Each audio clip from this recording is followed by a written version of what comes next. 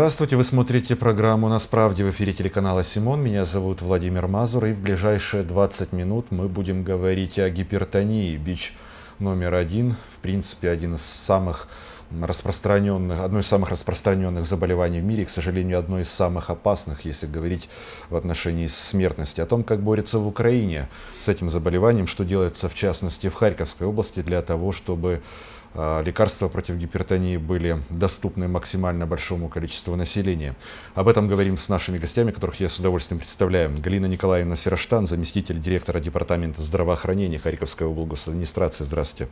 Добрый день. И Олег Сергеевич Терещенко, начальник Госслегслужбы в Харьковской области. Добрый, Добрый день. день. Ну что ж, наверное, давайте начнем со статистики, если вы не возражаете. Э, думаю, Харьковская область э, не исключение. Да. В мире проблема номер один в Харьковской области наверняка та же самая ситуация. Но если говорить языком цифр, э, кого вот касается эта государственная программа регулирования цен, какого количества населения она касается, сколько стоит, может быть, на учете? Ну, з травня, починаючи з травня 2012 року, вийшло ряд розпорядчих документів на рівні Міністерства охорони здоров'я, постанов Кабінету міністрів, які запровадили впровадження пілотного проєкту щодо лікування гіпертонічної хвороби. Е, після отримання цих документів в нашій галузі охорони здоров'я працювали лікарі всіх спеціальностей, і сімейні лікарі, і терапевти, і лікарі-невропатологи, кардіологи, які спіткаються з цією проблемою з гіпертонічною хворобою, е, працювали над створенням достовірного реєстру хворих е, на гіпертонічну хворобу. Ми щорічно звітуємо перед Міністерством охорони здоров'я відповідно до нашої галузевої статистичної звітності по кількості хворих, які були зареєстровані на території Харківської області. Е, коли ми отримали ці документи про порядження пілотного проєкту, розпочали е, персоніфіковано працювати над створенням реєстру.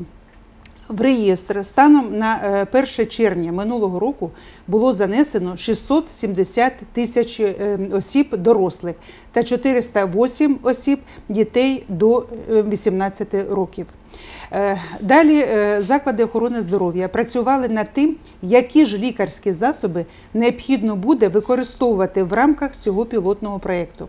Е, відповідно до нашого наказу Міністерства охорони здоров'я було занесено майже 280 лікарських засобів різних виробників, в тому числі і вітчизняних, і іноземних, на які були розповсюджені референтні ціни. Ми попрацювали працювали не тільки з закладами охорони здоров'я, а й розпочали свою роботу з аптечними закладами різних форм власності для того, щоб можна було забезпечити доступ нашого населення до отримання цих лікарських засобів. Е, відповідно до цієї статистики, ми з'ясували, що у нас кожний четвертий мешканець Харківської області має гіпертонічну хворобу, знаходиться на диспансерному обліку.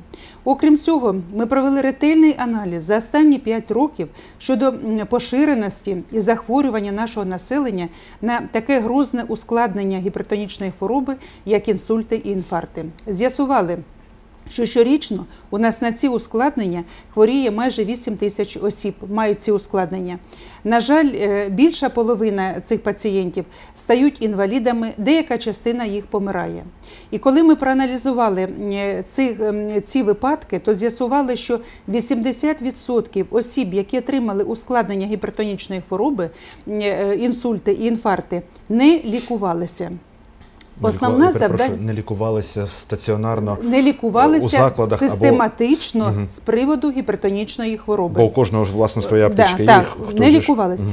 Е, основне завдання е, на сьогоднішній день пілотного проєкту це забезпечити доступними лікарськими засоби наше населення, е, як можна скоріше уникнути випадків самолікування. І це наше населення повинно абсолютно чітко знати, що не можна отримувати ем, лікарські засоби, ті, які отримує сусід або родич, або хтось рекомендує, або це як часто ми бачимо зараз це на в рекламі на телебаченні, йдуть по радіо. Цього робити не можна. Треба звернутися до сімейного лікаря, до лікаря-невропатолога, кардіолога, терапевта, там, де в територіальні поліклініки. Лікар, вимірявши тикс, провівши певне обстеження. А ми сьогодні, ем, к щастю, маємо. Протоколи лікування гіпертонічної хвороби, які адаптовані до світових стандартів, які адаптовані до цього пілотного проекту і адаптовані до стану здоров'я пацієнтів не тільки нашої області, а й взагалі населення України. І коли е, людина приходить до сімейного лікаря чи тих лікарів, про які я говорила, е, його повністю обстежують. Обстеження проходить безкоштовно, і лікар визначає ті лікарські засоби, які е, рекомендовані і які на сьогоднішній день введені в пілот. Якщо людина не бажає приймати ці лікарські засоби, то можна лікар призначає інші лікарські засоби. Відповідно до останнього наказу Міністерства охорони здоров'я. Ми маємо три групи препаратів лікарських засобів. Перша це ті, які відпускаються безкоштовно пацієнту. Вони для пацієнта безкоштовні, але для держави вони не безкоштовні, тому що їх компенсують нам субвенцією із державного бюджету, яка надходить до нашої обласної державної адміністрації. Друга група е, лікарських засобів це ті е, лікарські засоби, які йдуть е, за знижкою від 80 до 90%, яку то частину коштів платить пацієнт. І третя група лікарських засобів це ті лікарські засоби, які повністю оплачуються пацієнтам. Як я вже говорила, це не тільки ліки вітчизняного виробництва, це ліки і іноземного виробництва. Тобто пацієнту можна підібрати абсолютно обґрунтовану і кваліфіковані лікарські засоби, які він буде приймати протягом е, е, року, двох, а може і більше. Ну для цього треба систематично приходити до лікаря, е, який би контролював це питання. Гіпертонічна хвороба е, вона е, дуже складна і е, вражає всі органи системи, які на сьогоднішній день є у пацієнта. Тому дуже важливо приймати постійне лікування. От коли ми починали працювати в минулому році з проєктом, у нас було 97 закладів аптечної мережі, які працювали з цього приводу, і ем, пунктів реалізації. Сьогодні біля 600 е, закладів, в яких ем, можуть отримати лікарські засоби, і мешканці села, і мешканці районних центрів, і мешканці обласного центру. Тобто, ми стараємося приблизити і аптечну допомогу безпосередньо до кожного нашого пацієнта. Е, е, ми отримали е, субвенцію, як я вже сказала, і відповідно пропорційно до кількості хворих, які були занесені в реєстр в районах області. Сесії обласної ради і в минулому році, і в цьому році пропорційно розділені ці лікарські засоби. На жаль, деякі райони наші не спрацювали так, як цього вимагалося. І сесія, яка відбулася в жовтні місяці, вони не використовували в повному обсязі лікарські засоби. Сесія, яка відбулася в жовтні місяці, зробила перерозподіл цих лікарських ем, коштів в ті райони області, які інтенсивно е, використовують препарати для лікування хворих на гіпертонічну хворобу. У нас в цьому році ем, е, субвенція виділена в сумі 11,5 мільйона гривень. Це ем, достатньо для того, щоб забезпечити хворих на гіпертонічну хворобу ем, лікування в повному обсязі. Що ми маємо, які ми підсумки маємо за на сьогоднішній день? Ну, по-перше, наша Харківська область стала лідером в е, забезпеченні населення лікарськими засобами. Ми одні із кращих були в минулому році. Ми були нас було третє рейтингове місце. В цьому році ми маємо друге рейтингове місце, і в нас. Е, населення на сьогодні е, може отримувати лікарські засоби по цій програмі. Ми проаналізували наші показники ускладнень гіпертонічної хвороби за період реалізації проєкту. Значить, хочу сказати, що на сьогоднішній день ускладнення гіпертонічної хвороби зменшилися майже на 25%. Ті люди, які отримували е, лікування гіпертонічної хвороби лікарськими засобами, не тільки з проєкту, а взагалі які у них, якщо і є ускладнення, то воно в менш шкідливій формі, чим ті, які ніколи не отримали лікарські засоби.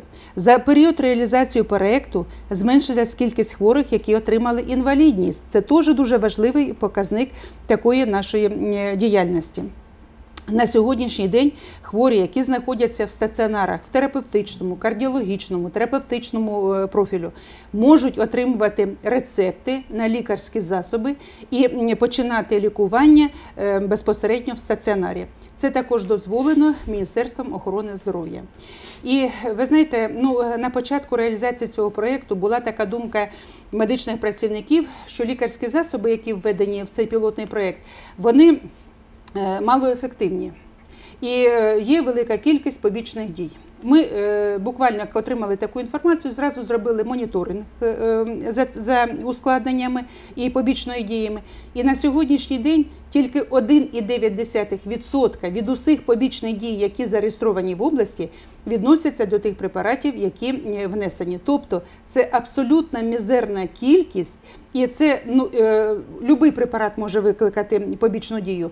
Е, тому на цьому акцентувати увагу е, зовсім ми е, не можемо. Е, ще хочу сказати, що сьогодні і інваліди, і чорнобильці також мають право отримати лікарські засоби е, е, в цьому пілотному проєкті, але знову ж таки звертаюся до наших глядачів. Необхідно перш за все прийти до свого лікаря, чи дільничного, чи сімейного лікаря, і визначити щодо обсягів лікування. Ви згадали про три групи препаратів, які є перше безкоштовним взагалі для пацієнта, не для держави. Друга знижка, здається, 50, так ви сказали? 80, і 90%. Так, ну я так розумію, що всі ж е, хочуть отримувати безкоштовно. А, Як це власне зрозуміти, на яку знижку, скажімо, я там маю право? Е, коли пацієнт приходить до лікаря, Лікар визначає лікарський засоб, який е, пацієнту е, може бути, може допомагати при лікуванні гіпертонічної хвороби. І лікар пропонує йому е, ряд лікарських засобів, які пацієнт може може приймати. Чи то безкоштовні лікарські засоби. Ну, Я була на одній з передач, телефонували, казали, що ви даєте лікарські засоби за 5 гривень. Так?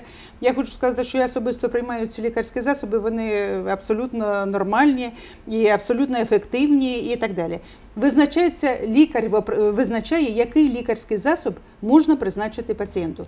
Ми зараз е, дуже тісно спрацюємо із нашими науковцями які також е, е, дають пояснюють і дають рознесення з приводу того, що е, лікарські засоби, які сьогодні є в пілотному проєкті, вони абсолютно ефективні, і лікар визначить, який лікарський засіб приймати.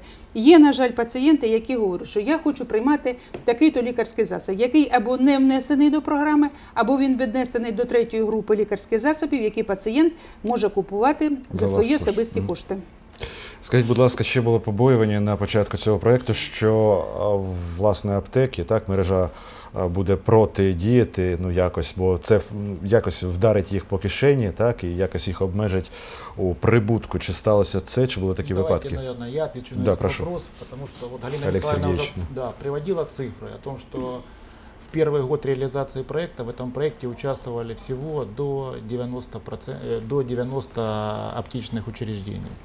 А на сегодняшний день здесь приводились цифры о том, что по Харьковскому региону насчитывается около 600 э, точек реализации, из которых аптек около 300 с чем-то аптечных учреждений. В том числе это и аптеки, и аптечные пункты. Это да, коммунальная собственность или частная собственность? Это в этом проекте участвуют как э, аптеки и аптечные пункты коммунальной формы собственности, так активное участие берут и частники.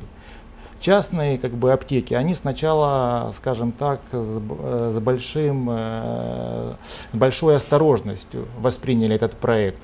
Но потом, когда они увидели, что э, государство компенсирует им средства, которые они затратили на закупку препаратов и реализацию его населению по рецептам, тогда, скажем так, в нашу службу, в адрес департамента даже э, участились случаи, когда фирмы просили нас включить их в этот проект. И на сегодняшний день есть ряд фирм, которые хотели бы участвовать, но уже конец года, финансовый год заканчивается, и мы надеемся, и есть такое мнение, что в следующем году этот проект получит не только продолжение, но и расширение на группу препаратов, которые используются для лечения сахарного диабета.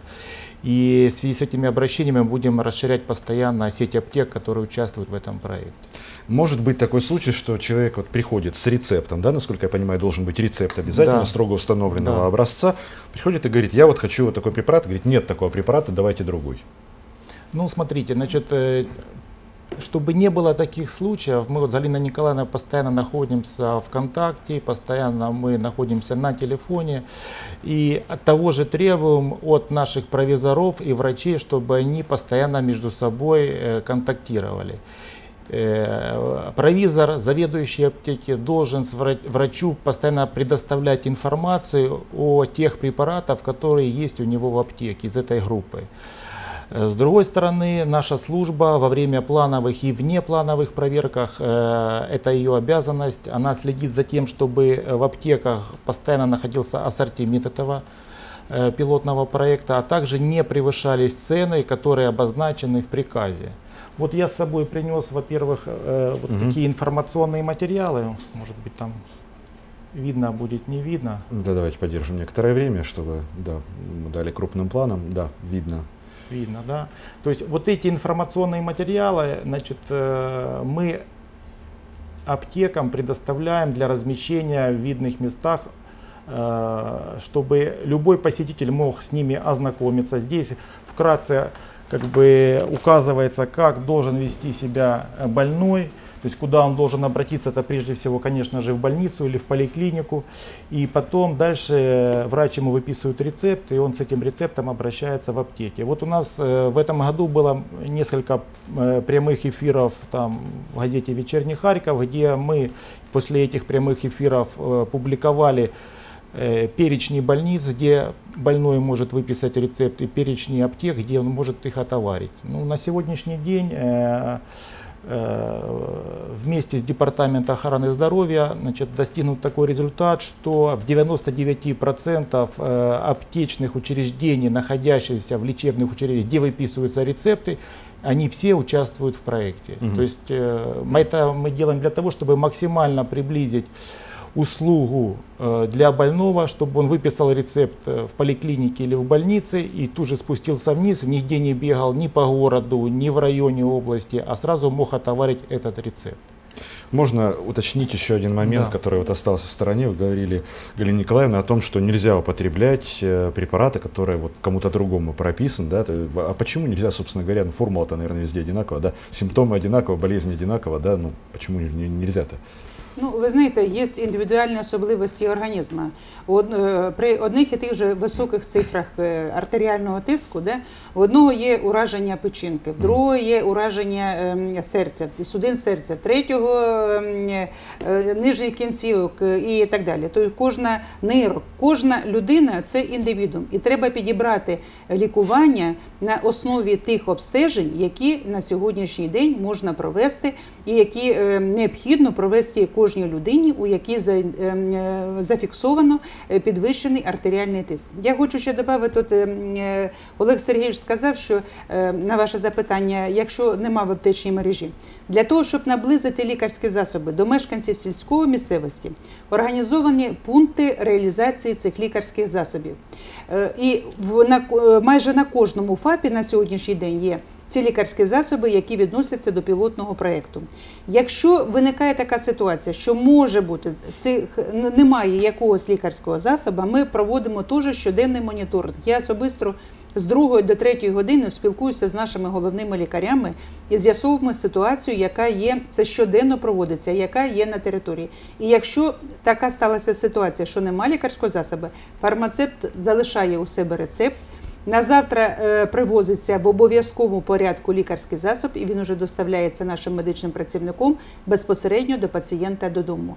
Тобто, е, якщо на початку проєкту у нас ну були е, проблеми щодо цього питання, і аптеки не завжди реагували на таку, і наші медичні працівники, то сьогодні відпрацьована взаємодія фармацевт. Лікар, лікар-фармацевт.